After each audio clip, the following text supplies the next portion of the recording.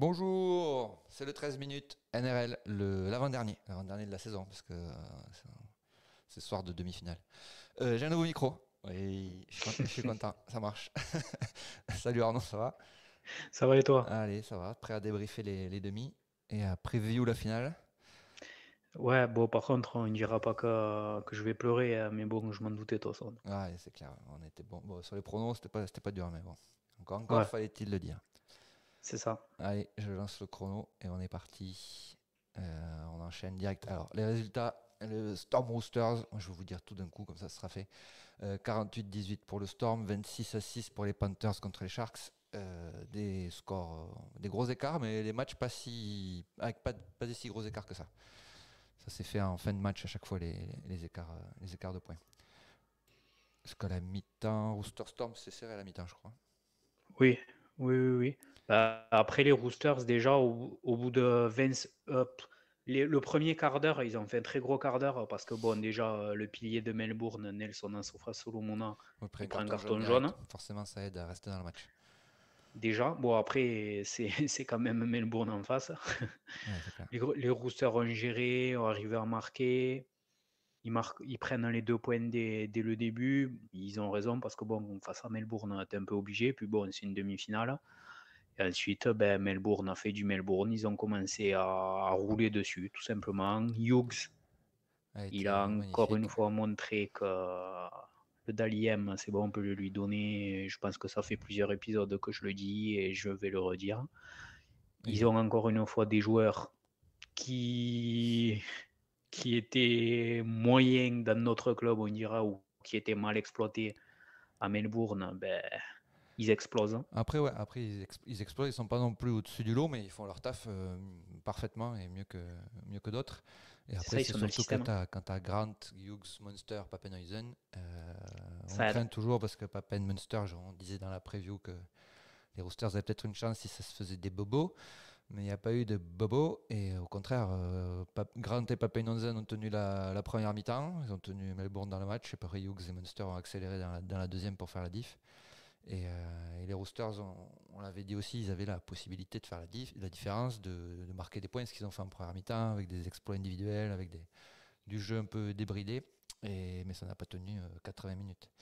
Andrew, Bah. Jo- ouais, Andrew Jones avait dit ça euh, en preview, il avait dit euh, il faut contre Melbourne, si vous jouez euh, placé et euh, structuré, ils savent trop bien défendre, vous ne marquerez pas. Donc, il va falloir faire des offloads, tenter des trucs.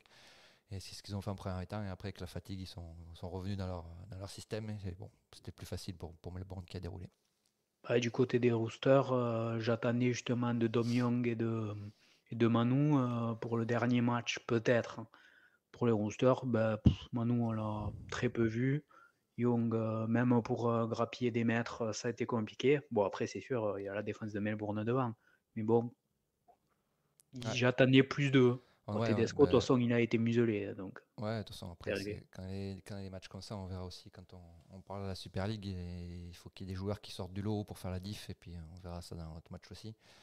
Et c'est Melbourne qui les a, ces joueurs, et, euh, et qui, qui, qui, qui- qui s'est imposé facilement au final, euh, en débloquant euh, dans les 30 dernières minutes euh, le score. Bah, bah, à la fin du match, justement, sur, sur les réseaux sociaux, je sais plus si c'est Melbourne qui, qui mettait la photo de justement l'épine Harry Grant, Papa Neisen, Bell, c'est bon, Munster et Hughes. Euh, en fait, quand tu calcules qu'avant à Melbourne, ben, il y avait Slater, Kronk, Smith. En fait, euh, à chaque fois, ils ont fait les, les, les passations comme, comme si ne rien n'était. Ouais, c'est pareil, ils ont les- C'est il leur faut des. Melbourne, Bellamy. Quand il y avait, quand il y avait, quand il y avait Cooper Cronk, après ils ont, ils ont changé de, d'ouverture, mais il y a eu un coup Widop, euh, Inglis a même joué l'ouverture quand il était, donc ils ont, ils ont quand Jeune. même, ouais, jeune, ils ont quand même eu des, voilà, des bons joueurs pour appuyer, puis après Cronk, c'était Cronk aussi, donc, euh, donc, euh, donc ouais, ouais, c'est, la base, hein, si t'as pas 9, 7, 6, 1 euh, à haut niveau et stable, ça Ouais, mais aussi fort, aussi, aussi fort quand même, c'est Ah ouais, c'est- ben, fort. Parce que justement, Hughes, je lisais un article un peu, il est allé au Titan, au Titan, euh, enfin, il était au Titan très jeune.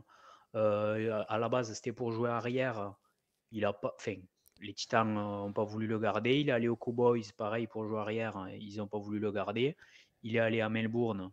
Ben, c'était pour jouer arrière, sauf qu'au final, ils ont, ils ont dit et si on l'essayait 6, ben, c'est devenu fin 7. après Bellamy, il a, le, il a le luxe de prendre son temps et surtout d'intégrer un ou deux, trois joueurs dans une équipe qui marche déjà bien. Donc il va prendre le temps, il va mettre Hughes à l'arrière, ça va pas marcher, il va le mettre en 6, ça va pas marcher. Parce qu'au début, il était bon, mais euh, c'était pas non plus. euh, voilà, ça fait que voilà, 2-3 ans, enfin 3-4 ans, allez. Il a mis un peu de temps à s'installer, quoi. Mais maintenant, ça y est, c'est une machine internationale. Il n'y a pas de joueur de l'année. Fort probablement.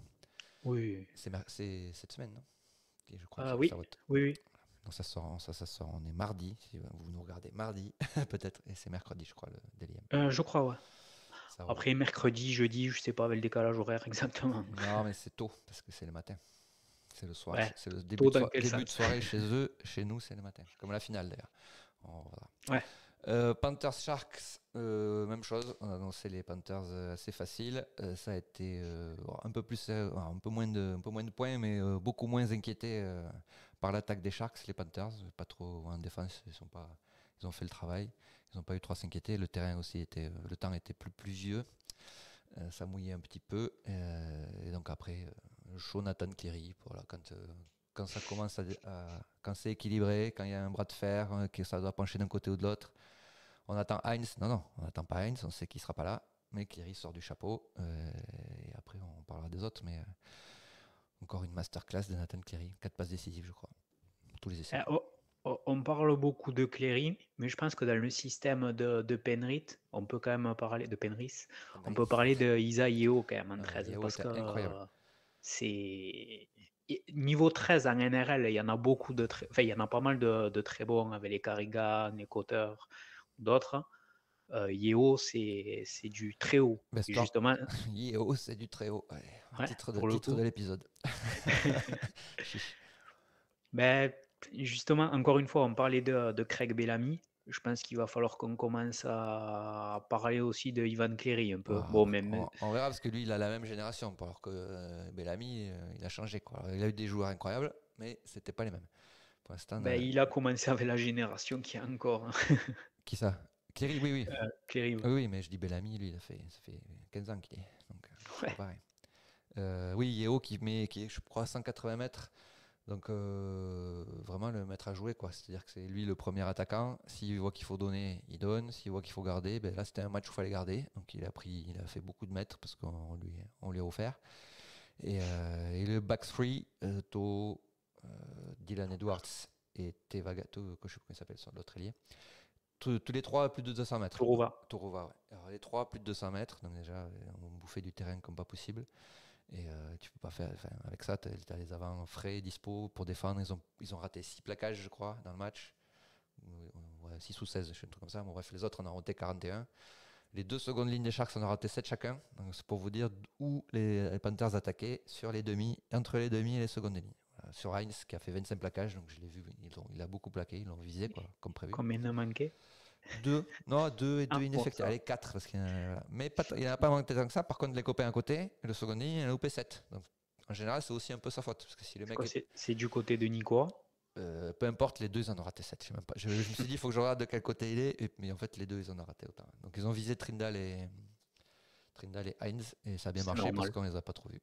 De toute façon, dans, dans le rugby, hein, si tu fatigues les demi en défense, que ce soit face à n'importe quel demi, ben, forcément en attaque, ils sont, ils sont plus fatigués. Les, Panthers, Normalement. les Panthers avaient déjà fait ça contre les Roosters euh, en qualification. Les Storms avaient fait ça contre les Sharks. C'est aussi c'est pas que les meilleurs joueurs qui gagnent, c'est aussi les équipes les plus intelligentes. Donc, euh, C'est pour ça que les entraîneurs, Bellamy et Cléry, de toute façon, c'est les meilleurs euh, coachs actuels. oui, ap- après, j'imagine que Trent Robinson, il leur dit pas le contraire. Encore faut-il, voilà, faut exécuter comme il faut, quoi. C'est ça. Allez, il nous reste 4 minutes. T'as le chrono maintenant parce que la technologie s'améliore de jour en jour. donc avant, il voyait rien, maintenant, il voit tout. Donc, on va passer au petit petite preview de la finale. Euh, cinquième finale d'affilée pour, le, pour les Panthers. Ça, c'est pas vu depuis les années 60, je crois. Donc, euh, je sais plus qui disait. Depuis qu'il y a six tenues, ça n'a jamais existé. Donc, euh, ils sont en route Mm. vers un quadruplé euh, historique aussi. Pareil, pas fait depuis les années euh, 60, 70, 70 peut-être. Et euh, ils retrouvent le Storm, parce que alors, cinquième finale d'affilée, quatre titres. Donc, euh, donc, trois- bref. Euh, c'est le, le dernière finale perdue par les Panthers, c'était le Storm. Donc la dernière fois, j'ai dit qu'ils s'étaient jamais rencontrés en finale, c'était une erreur. C'était il y a c'était il y a 5 ans. Et, et donc, est-ce que Melbourne va mettre fin à la série des Panthers? Ben, tu sais que j'aimais les, les stats, que j'aimais regarder les chiffres qui passent. Mais je pense que je vais t'apprendre un truc, sauf si tu l'as, sauf si tu l'as vu passer. Mais Bon, ah, ça y est, il a freezé. Ah non, j'espère que c'est pas. Ah voilà. tu m'entends? Oui, c'est bon, c'est revenu. Ouais, c'est bon. Une Melbourne, ils vont en finale chaque 4 ans. La dernière finale, euh, c'était il y a 4 ans. Ils ont fait gagner, perdu, gagner, perdu. Putain. Si, si les, si les stats sont bonnes, Ils vont gagner. là, ils la perdent. Donc, justement, vu qu'ils ont gagné la dernière, Gagné, perdu, gagné, perdu. Ah oui, ils ont gagné la dernière, c'était contre les Panthers, oui, évidemment. c'est ça, justement. Donc ils vont la perdre. Ça, c'est bien. Euh, À quoi faut s'accrocher, tellement c'est proche entre ces deux équipes. Euh, c'est quand même Si fou. jamais il y a des parieurs, ils peuvent euh, Ah, faire ça, parce ça- que. Là, tu les as convaincus, à mon avis, définitivement. un genre de. Mais Euh, c'est vrai que là, franchement, à parier, euh, c'est dur parce que bon, tout le monde attendait cette finale. Et pour le jeu, je pense tant mieux. Parce que sinon, euh, face ou aux, au- ou aux Sharks, je pense qu'il y aurait eu trop de différence. Là, Melbourne, Penrith, Penrith, les meilleures défenses, parce que les deux euh, en défense euh, s'excellent. ouais. Je pense pas qu'il y ait un énorme score. hein. Ouais, C'est c'est- euh, 8-6, un 4-6 pas sûr ou ce soit-. C'est peut-être les deux meilleures attaques aussi, donc ça va être compliqué. Euh, Les, les demi, ça va se jouer à très très peu de choses. le match d'ouverture de la saison, c'était Melbourne-Penrith, 8-0 pour, pour Melbourne. Parce que Melbourne ne perd pas de toute façon en ouverture euh, depuis, euh, depuis que Bellamy est coach. Donc Ouais, c'était un petit depuis 8-0. longtemps. euh, de mémoire, c'était plutôt un bon match, mais, euh, mais un petit Bah, score. écoute, Mais il n'y avait, pas- il y avait pas Munster. bah, écoute, l'année dernière, pour la première journée, euh, Brisbane avait battu Penrith. Alors, alors, voilà, c'est à fond pour- euh, je mon PEL sur Penrith. C'est facile. Euh, quand- peu de précision, il n'y aura probablement pas Nelson à Sofa Solomona puisqu'il a mis euh, un grand coup d'épaule dans la tête à Lindsay Collins sur le coup d'envoi. Euh, De toute façon, il a pris 4 matchs, donc ils vont pas l'enlever. ah, au pire, il en prendra moins. prendra deux peut-être, mais ils ont fait appel. Mais Oui. bon, ça, ça serait, Pour la finale, ça aurait bête de ne pas le faire, mais euh, il n'a pas vraiment voulu mettre un coup d'épaule, mais il fait 2m12, donc forcément, il- il, faut se baisser, Michel. Bon, c'est pas grave. Euh, donc, ouais, mon avis, Melbourne peut, peut tenir euh, Penrith devant. Euh, le back va encore être très important euh, chez, les, chez les Panthers. Et après, la magie, hein, Cleary. Alors, on a- tu vois, là, on a 9, 6, 7, 1 à Melbourne et on a 13, 6, 7, 1 à, à Penrith. Donc, Des deux côtés, hein. des deux côtés, les axes, ils sont, c'est c'est les meilleurs. ça devrait être Ben, passionnant. moi, moi, tu sais quoi? Je parierai pas contre Nathan Cleary en finale. Ok, donc moi je vais quand même, euh, je pense que le Storm va, gagner. C'est fatigant hein, euh, mentalement de gagner quatre fois de suite, de faire que gagner Pan- les Panthers. S'ils le font, ce sera très très fort. Je pense que les autres ils ont faim, ça fait un moment que ça galère, enfin ça galère. Ils sont toujours dans top 2 euh, à la fin de la saison, mais il y a quelques blessures, euh, ils vont pas, ils trouvent, ils n'arrivent pas à aller en finale ces dernières années. Donc là, une fois qu'ils y sont maintenant, euh, je fais confiance à Bellamy, je fais confiance à Cameron Munster, même si j'aime beaucoup Nathan Cleary. euh, de toute façon, là, une légende va se, va se créer euh, dimanche. Donc, euh, on Oui, a- on a dans les de deux voir sens. ça. Exactement. Et voilà, 13 minutes. C'est facile ce sport. On est bon. Easy, easy. Alors qu'on avait que 3 matchs à parler au Ah final. oui, bah, on, on- on peut tout faire. Un jour, on fera une minute, un match. Quand on aura le temps. Quand on en fera un par jour, deux par jour, ce sera comme ça. Euh, merci de nous suivre. Euh, continuez, il reste de la Super League. On parlera de, des matchs internationaux après quand sera fini. On débriefera la finale bientôt. Euh, on sera là, on est là, présent.